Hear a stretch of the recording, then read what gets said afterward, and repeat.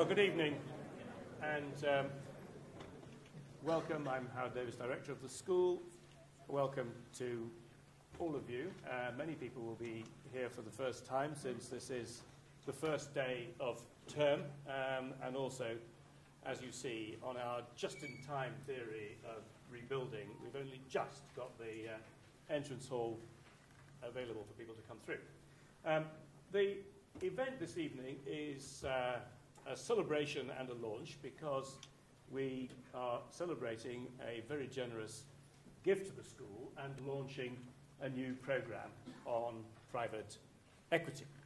And I'm delighted uh, that Arif Naqvi, um, who is the founder of Abraaj Capital based in Dubai, uh, is with us. Uh, and Arif has kindly organised this donation from Abraaj to set up the program in the school. Arif is an alumnus of the LSE. His wife is an alumnus of the LSE. His son, if he passes his exams this year, will be an alumnus of the LSE. Um, and Abraaj's success has been built largely on employing alumni of the LSE. Uh, so this is, in a sense, just a dividend we're getting back here, rather than uh, uh, a pure piece of philanthropy. But Arif, we're very grateful to you, and I hope you can all show your appreciation for this.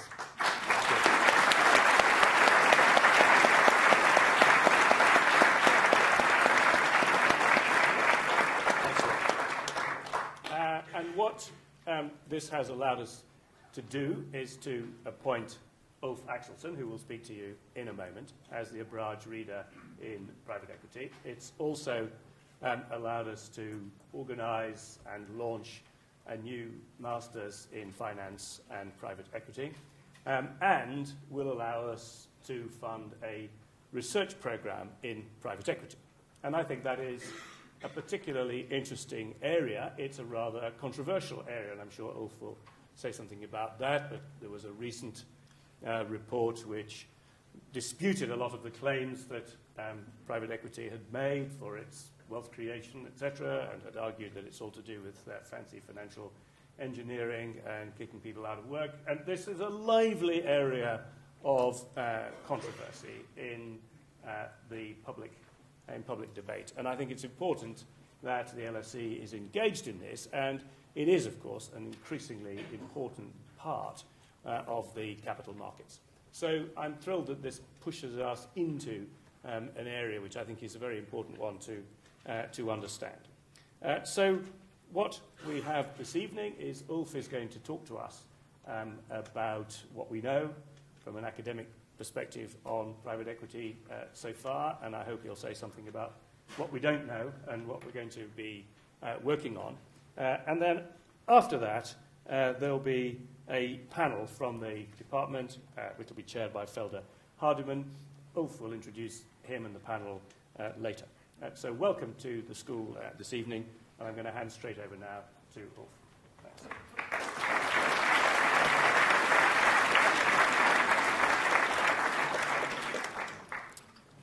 Thank you very much, Howard, and thank you again to Arif and Abraaj for making this possible, and thank you to the LSE for putting me in charge of uh, this exciting new initiative in, in private equity. So, what I want to do today is talk about the most controversial part of private equity. So I just want to stress to begin with that private equity is wider than just leveraged buyouts, but I'm going to talk about buyouts because that's where I've done the most of my work and that's where the most controversy basically is. But private equity is also angel investing, venture capital, mezzanine investing, and all those other parts. And that's big important parts that we also want to want to do research in and teach in, in at the LSE. Um, so, but I want to talk about buyouts, and um, what I basically want to do is in 30 minutes get you up to speed to where we really stand, all the knowledge that's been created in, in academia over the last 30 years about private equity. So you better hold on to your seats. Um, so what I'm going to do is this is a road plan. I'm going to talk about just what I define as private equity, and this is going to be buyouts, basically, how it works. Why it's controversial, so the arguments against private equity. and then why we think private equity actually could be a good idea for society as a whole.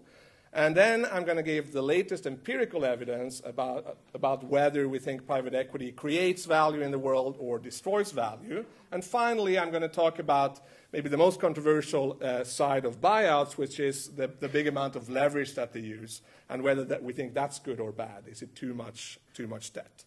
So without further ado, let me do that. And to get us started, I just want to put up a graph that basically shows the history of private equity. This is US fundraising data. Um, US is where this activity started. So what I have on this graph is the contributions made in a year into private equity funds as a proportion of the total stock market capitalization of the US stock market.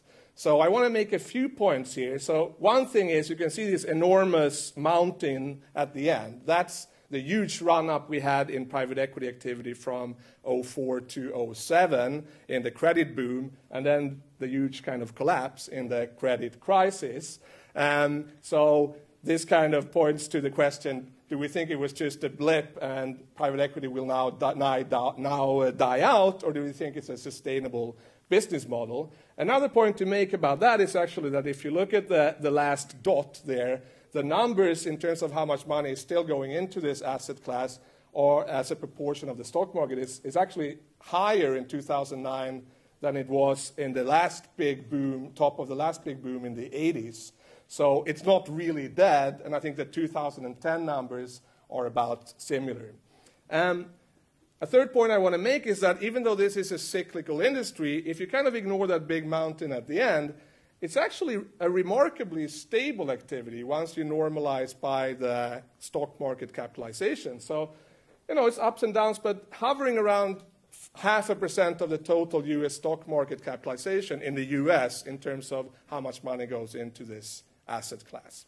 So, what is private equity? What, what do I define as private equity? I think the fellow that Howard was uh, referring to that wrote this report that was very critical, I think it's called Leveraged um, Private Equity Public Loss, he defined buyouts as the activity of using other people's money to buy companies using a lot of debt. Uh, and that's basically what it is, okay?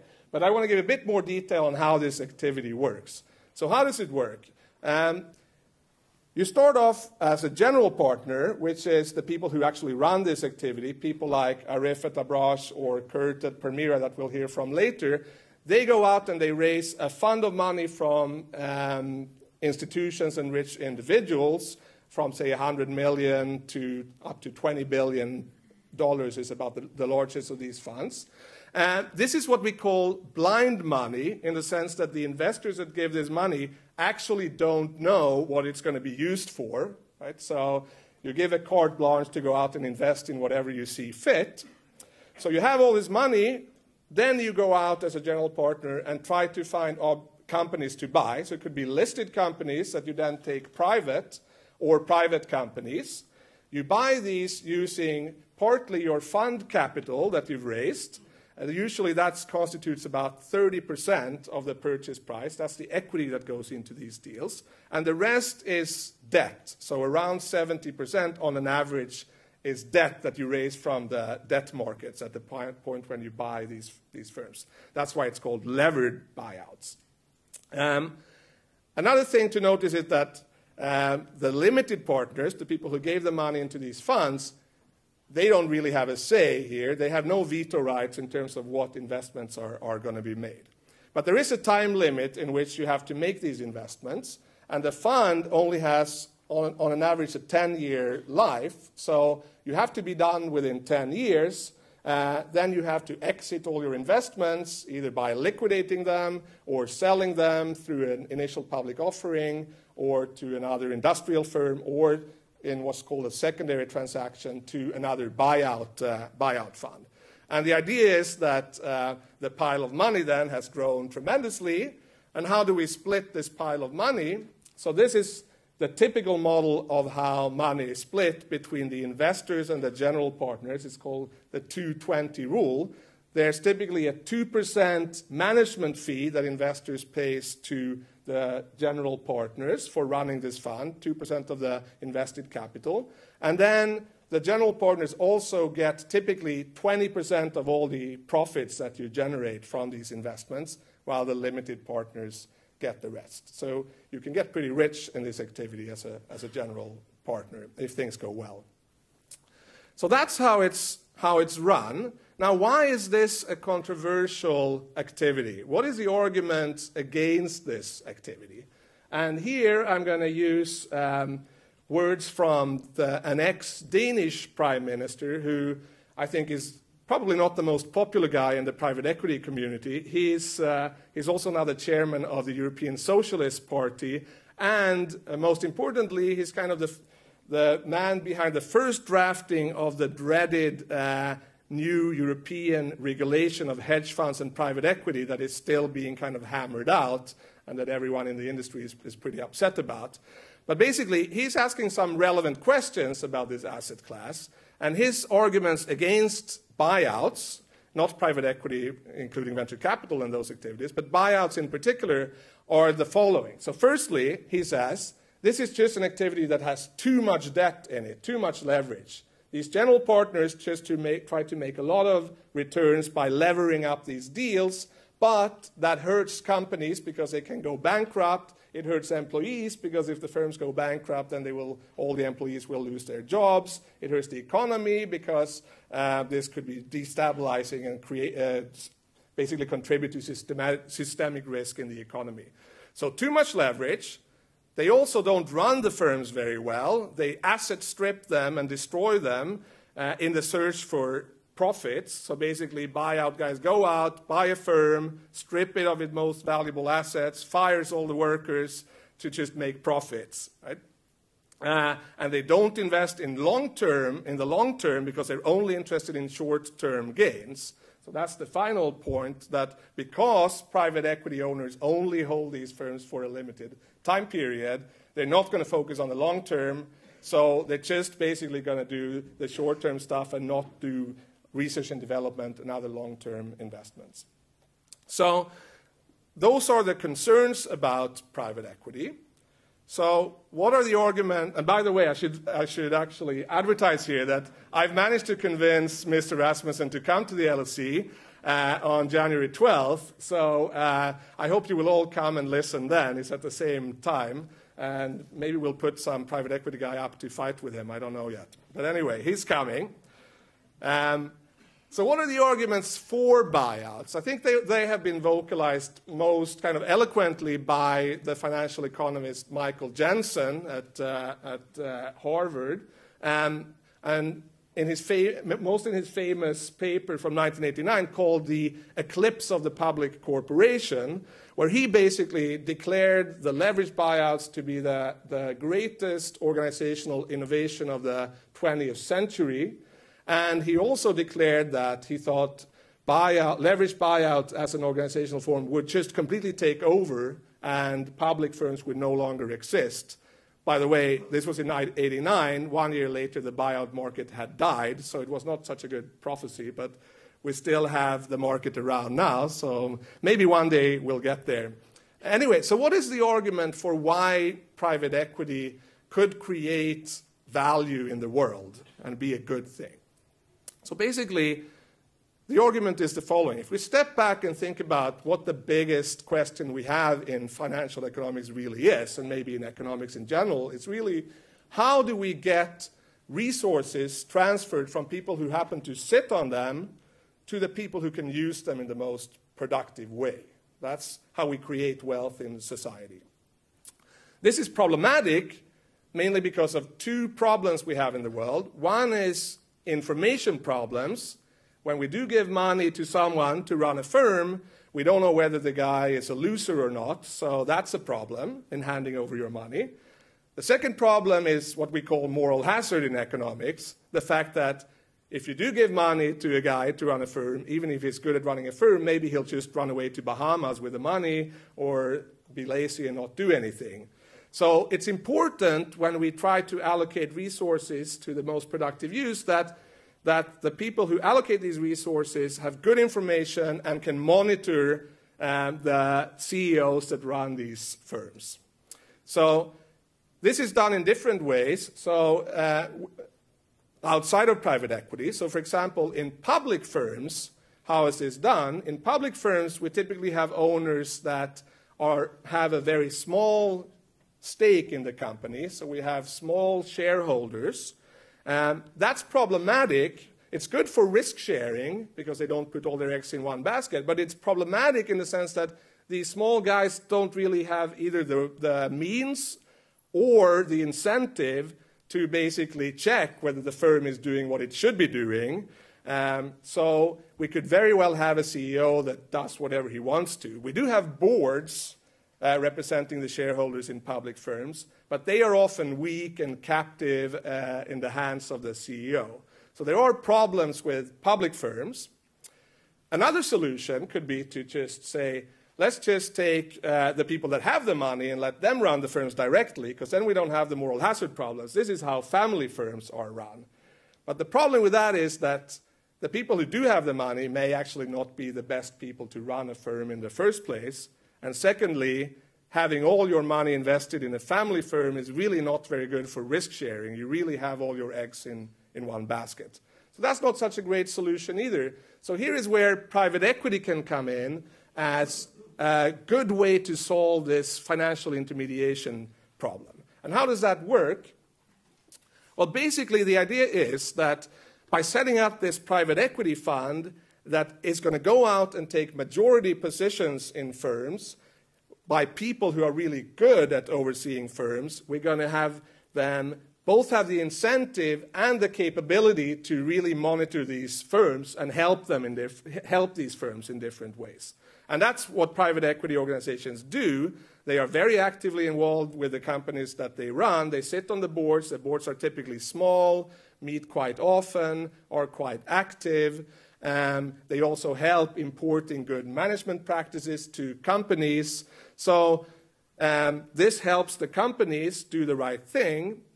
It's also the case that the leverage that is being used in private equity serves a positive role here in the sense that, firstly, it can kind of leverage the expertise of these general partners because by using debt, they can take a majority position in ownership position in more firms, so their expertise can be levered across more firms.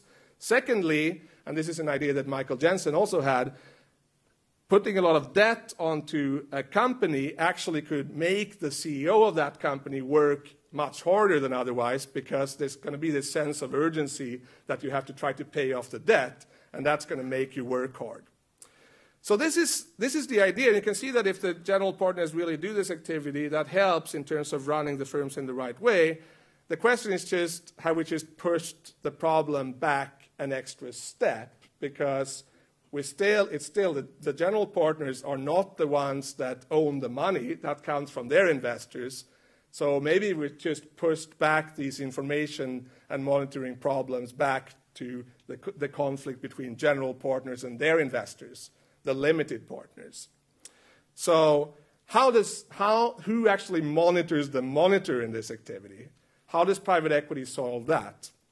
Well, there, here is where the structure of the private equity fund comes in. And I think one reason why Michael Jensen called it the greatest uh, innovation in the 20th century. And this is something that I actually have studied in a, in a paper in the Journal of Finance together with my colleagues Per Stromberg and Mike Weisbach, showing why the way this financial structure of the fund is set up, why that actually aligns the interest of the limited partners and the general partners in this fund. So, what's the idea? Well, firstly, the carry that is given, or the profit sharing that is given to the general partners, um, gives the general partners a big stake in, the, in, in kind of the, the fortune of these firms. So that makes them have the incentive to monitor and pick the right investments. Now, you could imagine doing that on a deal by deal basis, have this profit sharing arrangement. That would probably be a very bad idea because uh, if you remember how the payoffs to this general partners look, they get part of the upside. They don't take all the downside. That's something that the limited partners take. So if you did it on a deal by deal basis, these general partners would have an in incentive to just go up and buy everything that they can buy and hope that most of them pay off. The, the ones that don't, they don't care because they don't really have a stake in it at all. So this is why pooling everything into one fund and then splitting this profit sharing over the whole pool makes sense. Because now, if you do do a very bad deal in one of your fund investments, that's going to eat up your profit from another good deal that you've made. So this is going to create some internal discipline for the general partners to do the right thing. Um, so there's some internal discipline. There's also some external discipline provided by the fact that as a general partner, when you do want to go out and buy a big firm, you have to actually go out and raise a lot of debt to do it because you don't have enough money to do it otherwise. So you have to access the capital markets every time you want to do a deal. And that gives an extra external check because if the banks are doing their job, I'm not saying that they're always doing their job, but if they're doing their job, they wouldn't want to give all this debt to a deal which they think doesn't make sense. Right? So this, this creates an extra check with the banks or the debt providers as gatekeepers. Um, so that's one way to align the interest between the general partners and the limited partners. Another important part of the private equity model is this, uh, what I call the ownership term limit. Like we have term limits on presidents, but we don't have it on CEOs. But private equity owners actually do have a term limit. They have this 10 year horizon. And that can be a very powerful incentive mechanism because it forces you, it kind of gives you a sense of urgency to get things done within this horizon. It's also the case that um, when you are done with this fund and you want to go out and raise your next fund, if you didn't do well in the first fund, then you're not going to get any money again. So this term limit kind of gives an extra check, an incentive to do, to do well. So these are kind of the way of structuring this whole activity then really looks like it can help us allocate resources from people who have them to the most productive uses. So that's the argument for why we like private equity and I think it might help the world. So, what I want to go to now is to say we have arguments for, we have arguments against. So, what have we learned in academia in terms of the empirical evidence? Does it look like private equity creates value? And uh, one way to look at that is to look at what happens to accounting measures like profitability and growth under private equity ownership relative to other types of ownerships. And here, actually, the, the results are quite positive for private, private equity.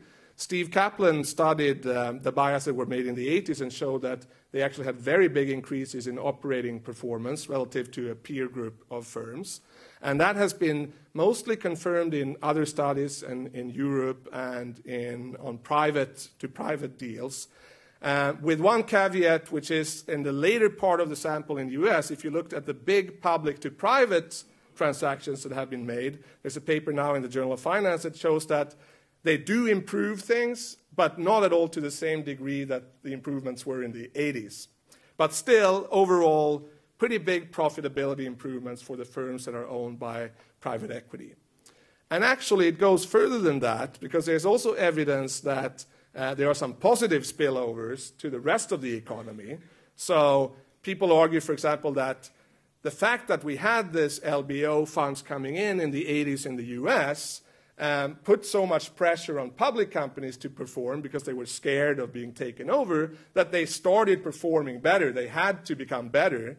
And that may be a reason for why public to private buyouts in the later part of the sample don't look like they improve things as much because publics have become better already. So that's one type of positive spillover. There's a recent, very interesting paper by Bernstein, Stromberg, Sørensen, and Lerner. I think I got all the, the names right. Uh, what they do is they look at, across countries, they look at if you compare one country where there was a growth of private equity investment. So private equity investment kind of uh, grew in a particular industry and compare that to another country in the same industry where private equity didn't grow in terms of investing. Uh, what's the effect for that whole industry in terms of future growth rates? And the results are actually pretty impressive. It looks like industries with more private equity activity tend to do much better in terms of uh, growth. Um, it's almost too impressive to be true, I think, but um, uh, that's what they claim anyway. So so the evidence here is pretty clearly positive in that private equity ownership seems to make firms more efficient and profitable. Uh, so the question then is, that our Danish friend would ask is, is this at the expense of workers and long-term investment? Um, so first, in terms of employments, the most comprehensive study that has been done is by Steve Davis and Josh Lerner and other people, uh, on the US, where they look at plant level data uh, and look at how much jobs are kind of created under private equity ownership. What they show is actually that private equity owners do fire more people than, uh, than other owners and other peer groups. But what they also show is that private equity owners hire more people, and the net effect is basically zero and the way they interpret this is to say there's creative destruction in, in these firms that private equity takes care of. Um, if you look at some European studies, there's a French study that shows that uh, with smaller deals, uh, that shows that um, employment actually goes up quite a lot under private uh, equity ownership. So my take on this is that it doesn't really look like these profitability increases are at the expense of workers. What about long-term investment? There's also a recent paper in the Journal of Finance that looks at long-term investment by private equity investors. What they look at, look at is patenting, and they show that under private equity ownership, patenting doesn't go down, um, but in fact, actually, the patenting, patenting that is being done is more efficient, so it's more important patenting. So this is then interpreted as evidence that private equity owners don't sacrifice long-term investment. They do invest for the long term. And the last bullet point I have here is also along those lines. That's a study by Jerry Cao and Josh Lerner that shows that once a firm exits private equity ownership and goes on to the public stock market, that firm actually continues to do better than a peer group of firms so it does look like the changes instigated under private equity ownership are not short-term, not temporary. They seem to be pretty long-lasting. So the evidence here, I have to say, is actually pretty positive uh, when it comes to value creation in private uh, equity. So let me go to some slightly more negative evidence on private equity. Um, and that is the returns evidence. So, so is it true that actually, because we have all these great operating improvements of the firms run by private equity investors, do we also see very high returns to this asset class for the limited partners? And here, um, the evidence is um, less impressive, actually. Private equity definitely makes the general partners rich. It's not so clear on an average that it makes the limited partners rich. By the way, this is an area where we need to do much more research because it's a very hard problem to study because it's not called private equity for nothing. It's very hard to get your hands on these returns, and it's a very illiquid class, so we still don't really know what the returns and the risks are of these investments, which makes it hard to say whether returns are okay or not. But the studies that have been done show that in buyout investing, on an average, returns are at or somewhat below what you would have gotten if you just invested in, an, in the overall stock market. For venture capital, it's actually higher than what you would have gotten in, in, in the overall stock market, but not so much for, for buyouts. Now, there is a big uh, difference between what are called the, the top quartile funds and the bottom quartile funds because it looks like uh, the top quartile funds, the best players, uh, do seem to repeatedly be able to give pretty high returns. But on an average, the returns are not so impressive. So that's kind of a bit of a puzzle, right? I said earlier that private equity seems to create a lot of value for firms, but it's not that impressive returns to investors at the end of the day.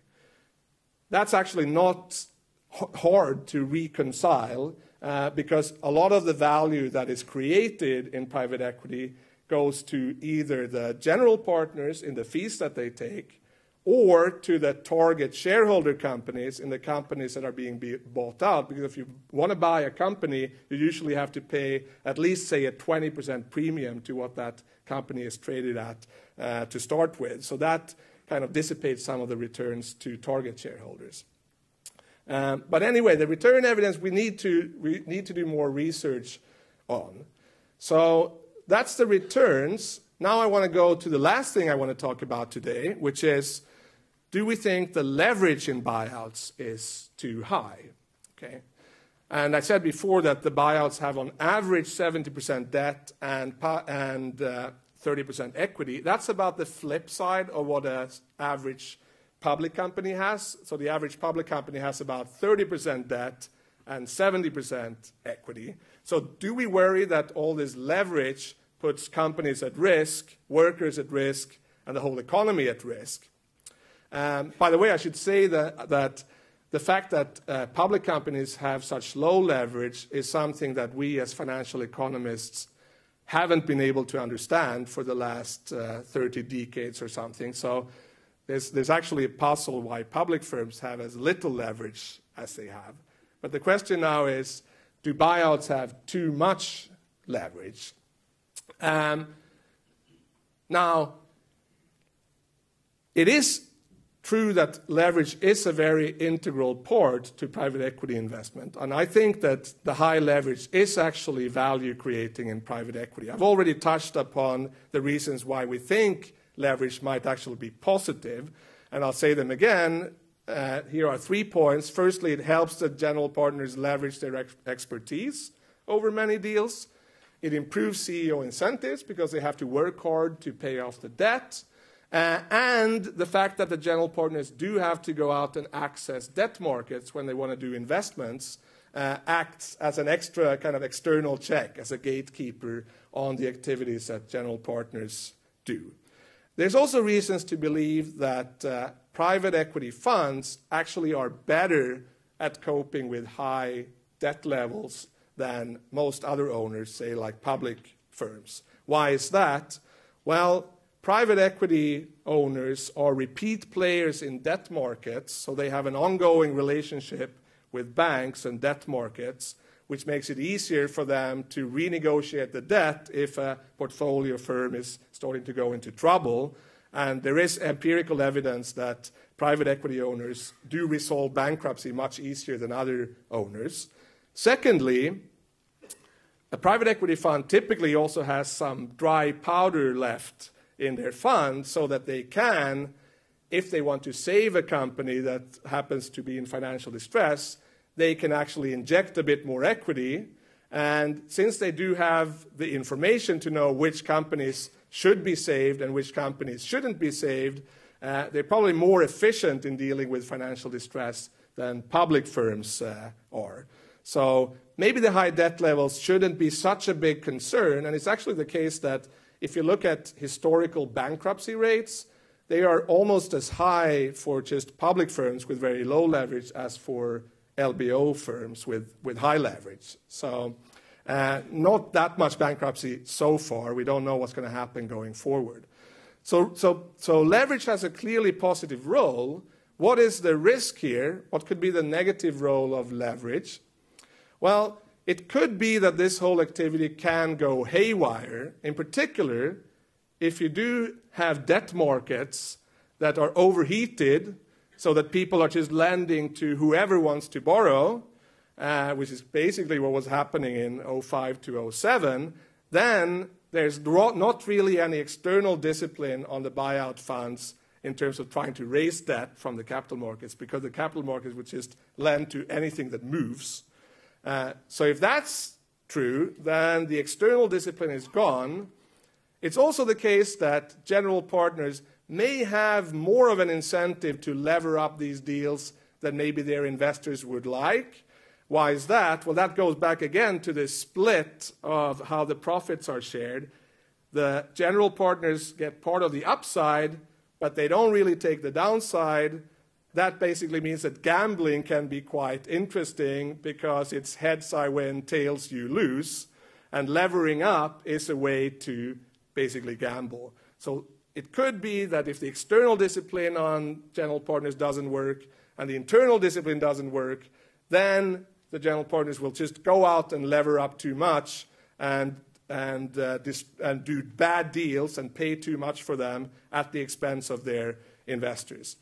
So, what, what does the data say about how leverage is chosen in buyouts? That's something that I studied in a recent paper together with uh, Tim Jenkinson, who is in the audience, and my friends Per Stromberg and Mike Weisbach. So we went out and uh, gathered the most comprehensive database on the financial structure, the leverage in private equity deals across countries and across time, and tried to figure out what seems to be driving the leverage decision. And this is the aggregate picture that we, that we have. Um, so what I have here on this graph is basically the red line is in a given year, what was the median leverage that was taken in private in uh, buyout transaction, buyout transactions as a multiple of cash flows. The blue line is how much was paid on an average in these transactions, and this gray line at the bottom is the same graph that I showed you in the beginning, which is fundraising activity in the capital markets. What you can see quite clearly in this graph is that um, this is a cyclical market, and both fundraising activity, uh, leverage, and the prices paid in these deals seem to co move. And in particular, in times of credit booms, all these things seem to go up. Right? So we had the credit boom in the junk bond market in the late 80s, where you see the big spike in fundraising, really high leverage levels, really high transaction prices. Then, when the junk bond market died, um, all of those things came down. Same thing in the period 04 to 07. Really high fundraising, really high leverage, really high prices. So it's pretty evident from this picture that credit booms seem to be driving um, the leverage activity. When we then went in and looked at the individual deals and said, what was it that made a private equity fund choose a certain leverage in a certain deal?